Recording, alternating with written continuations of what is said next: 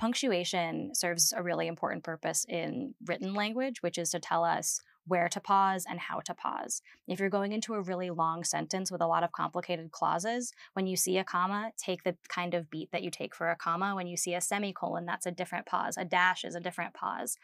An ellipsis is a different pause. And those are going to help you vary your tone and build suspense. As an audiobook narrator, you get to tell this story in a way that even the writer hasn't gotten to tell it.